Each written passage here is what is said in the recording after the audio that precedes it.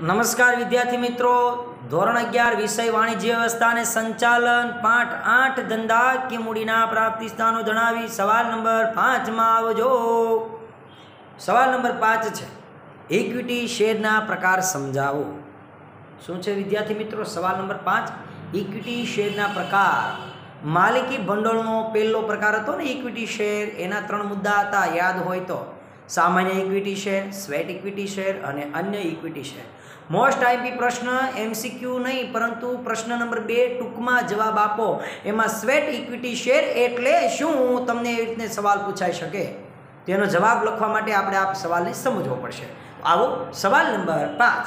એમાં પ્રથમ મુદ્દો છે સામાન્ય ઇક્વિટી શેર આ પ્રકારના શેર કંપની માટે અગત્યના છે.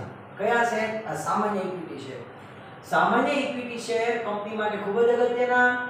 શેર મૂડી મેળવતી દરેક કંપનીએ ઇક્વિટી શેર બહાર પાડવા ફરજિયાત છે. જે જે કંપનીએ શેર મૂડી મેળવવી હોય, તો એવી દરેકે દરેક કંપનીએ આ પ્રકારના ઇક્વિટી શેર બહાર પાડવા ખૂબ જરૂરી છે. સાહેબ શેર મૂડી શા માટે?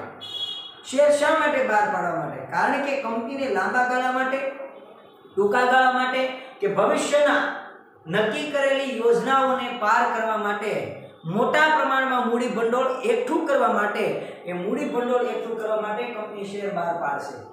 તો જે જે કંપની શેર મૂડી મેળવતી દરેક કંપનીએ ઇક્વિટી શેર બહાર પાડવા ખૂબ જ ફરજિયાત છે. શેર ખરીદનાર, શેર હોલ્ડરો સાચા કંપનીના માલિકો છે. સાહેબ, શા માટે એવું કીધું છે? એકમની અંદર કામ કરતા મેનેજિંગ ડિરેક્ટરો, મેનેજરો હોય ઘણા બધા હોય. સીઈઓ હોય છે, બધા ચીફ ચેરમેન હોય છે, આ બધા હોય છે, એમડી મેનેજ જનરલ મેનેજર છતાં પણ શેર હોલ્ડરો સાચા માલિકો કેમ? તો કે શેર ખરીદનાર એ શેર હોલ્ડરો સાચા માલિકો એટલા માટે કારણ કે સૌથી વધુમાં વધુ જોખમ ઉઠાવે. કારણ કે કંપનીને જે વર્ષાંતરે નફો થાય એ નફામાંથી અમુક પ્રકારના કરવેરા બાદ થશે, અનામતો બાદ થાય પ્રેફરન્સ શેર હોલ્ડરોને ડિવિડન્ડ ચૂકવાઈ જાય, અને પછી જે મૂડી વધે. તો ઇક્વિટી શેર હોલ્ડરોને નફામાંથી ભાગ મળે. એટલા માટે સૌથી વધુ જોખમ ઉઠાવે છે અને સાચા વફાદાર સાથી ઇક્વિટી શેર હોલ્ડરોને કંપનીના કહી શકાય છે. ડિવિડન્ડ મળવાનું, કેટલું મળવાનું? નક્કી નથી. ડિવિડન્ડનો દર કેટલો રહેશે? કેવો રહેશે? એ કંઈ નક્કી હોતું નથી. એટલા માટે કીધું છે. ડિવિડન્ડ મળવાનું ડિવિડન્ડનો દર કેવો છે? અનિશ્ચિત. વિસર્જન વખતે છેલ્લે મૂડી પરત. કે જ્યારે કંપનીનું વિસર્જન થાય, ત્યારે છેલ્લે મૂડી પરતનો લાભ કોને મળે છે? ઇક્વિટી શેર હોલ્ડરોને ટૂંકા ગાળા, મધ્યમ ગાળા અને લાંબા ગાળાને ધ્યાનમાં રાખી મૂડી જરૂરિયાતને ધ્યાનમાં રાખી મૂડી ઊભી કરીએ, મૂડી ઊભી કરવામાં આવે છે. કે ટૂંકા ગાળા અને મધ્યમ ગાળો અને લાંબા ગાળા માટેને ધ્યાનમાં રાખીને મૂડી ઊભી કરવા માટેનું એક આ પ્રકારની જામીનગીરી. એટલે કે ઇક્વિટી શેર મૂડી. તો પહેલો મુદ્દો સમજ્યા આપણે શું? સામાન્ય ઇક્વિટી શેર ત્યારબાદ છે સ્વેટ ઇક્વિટી શેર કંપની તેના સંચાલકો અને કંપનીમાં કામ કરતી વિશિષ્ટ જ્ઞાન ધરાવે સાંભળો કંપની તેના સંચાલકો અને કંપનીમાં કામ કરતી વિશિષ્ટ જ્ઞાન ધરાવતી વ્યક્તિઓને તથા કર્મચારીઓને વટાવતી તથા રોકડ સિવાયના અવેજીથી જે શેર ફાળવે એને શેર ઇક્વિટી શેર તરીકે ઓળખવામાં આવે છે. અમુક વિશિષ્ટ પ્રકારની વ્યક્તિ હોય, એને એકમમાં સારું એવું કામ કર્યું હોય, તો એને વળતર આપવા બદલે શેર આપી દેવામાં આવે. કર્મચારીઓને વટાવતી આપવામાં રોકડ સિવાયના અવેજ એટલે રોકડ જોવા નથી મળતું, ના બદલામાં શેર આપી દેવામાં ટૂંકમાં એને સ્વેટ ઇક્વિટી શેર તરીકે ઓળખવામાં આવે. શું હતી વાત? કંપની તેના સંચાલકો અને કંપનીમાં કામ કરતી વિશિષ્ટ જ્ઞાન ધરાવતી વ્યક્તિઓને તથા કર્મચારીઓને વટાવતી તથા રોકડ સિવાયના અવેજથી જે શેર ફાળે એને સ્વેટ ઇક્વિટી શેર તરીકે ઓળખવામાં આવે છે. ત્યારબાદ છે અન્ય ઇક્વિટી તો કે અન્ય ઇક્વિટી શેરની અંદર બે પ્રકાર પાડવામાં આવ્યા છે. મતાધિકાર સાથેના ઇક્વિટી શેર અને ડિવિડન્ડના સંબંધના ધ્યાનમાં રાખીને જુદા જુદા હક ધરાવતા મતાધિકાર ધરાવતા શેર. ત્યારબાદ સવાલ નંબર છ જોઈએ. પ્રેફરન્સ શેરનો અર્થ આપી એની લાક્ષણિકતાઓ સમજાવો. તો પ્રેફરન્સ શેર કોને કહેવાય? તો કે જે શેર પર કંપનીના નફામાંથી ડિવિડન્ડ મેળવવાનો પ્રથમ હક હોય.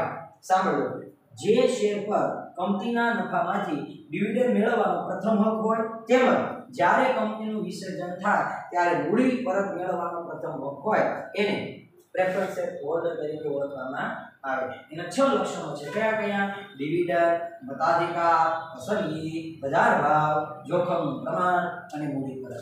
આવું સમજીએ છે છ લાક્ષણિકતાઓનો નંબર એક ડિવિડન્ડ બોલો. ડિવિડન્ડ કેવું હશે? નિશ્ચિત દરે ડિવિડન્ડ મેળવવાનો હક છે. મળશે જ. નક્કી કરેલો દર છે એટલા માટે. મતાધિકાર. જેમ ઇક્વિટી શેર હોલ્ડરોને શેર દીઠ મતાધિકાર મળતો હતો, એમ આને મતાધિકાર એમ નથી મળતો. પણ ખાસ હિત સાથે સંકળાયેલી બાબતોમાં જ મત આપવાનો અધિકાર છે. અમુક પ્રકારનું હિત હોય, એમાં જે મત આપી શકે છે, એવો અધિકાર એને મળે છે. નંબર ત્રણ, પસંદગી. આ પ્રેફરન્સ શેર ખરીદવા માટેની પસંદગી કોણ કરશે? તો કે જે લોકોને સ્થિર આવક જોતી છે, નિશ્ચિત આવક મેળવી છે, મૂડીની સલામતી મેળવી છે, અને એવા ઈચ્છતા રોકાણકારો આ પ્રકારના શેર ખરીદશે. શું વાત હતી? સ્થિર, નિશ્ચિત આવક, મૂડીની સલામતી, ઈચ્છતા રોકાણકારો આ પ્રકારના શેર ખરીદશે. બજારમાં શેરની કિંમત સ્થિર રહે, વ્યાજમાં ફેરફાર થાય, ત્યારે બજારમાં ફેરફાર થશે. શેરની કિંમત શું થશે? સ્થિર રહે. એમાં ફેરફાર નહીં થાય ફેરફાર શેમાં? તો કે વ્યાજમાં. ક્યારે? તો કે વ્યાજમાં ફેરફાર થાય, ત્યારે બજાર ભાવ, બજારના ભાવમાં પણ આપોઆપ ફેરફાર થાય છે.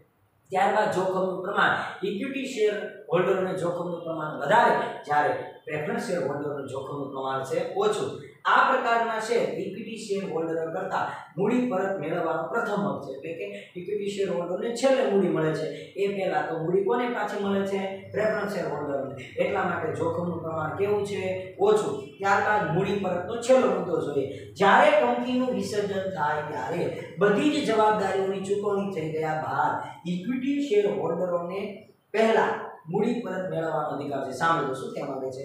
જ્યારે કંપનીનું વિસર્જન થાય, બંધ કરવાની તૈયારી હોય, ત્યારે બધી જવાબદારીઓ ચૂકવાય જાય, બધું દેવું ચૂકવાય જાય. ત્યારે વધેલી મૂડીમાંથી ઇક્વિટી શેર હોલ્ડરને આપવાની હોય એ પહેલા પ્રેફરન્સ શેર હોલ્ડરને મળવાનો અધિકાર, મેળવવાનો અધિકાર છે. અને અહીં લાક્ષણિકતાઓના છ મુદ્દાને આપણે જોયું. એમાં ડિવિડન્ડ મતાધિકાર, પસંદગી, બજાર ભાવ, જોખમનું પ્રમાણ અને છેલ્લે હતું મૂડી પરત. આમ આ સવાલ નંબર પાંચ અને સવાલ નંબર છ ને વ્યવસ્થિત આપણી નોટબુકમાં ઉતારી, વ્યવસ્થિત લખશો એવી શુભેચ્છા સાથે. જય હિન્દ, જય ભારત, જય શ્રી કૃષ્ણ.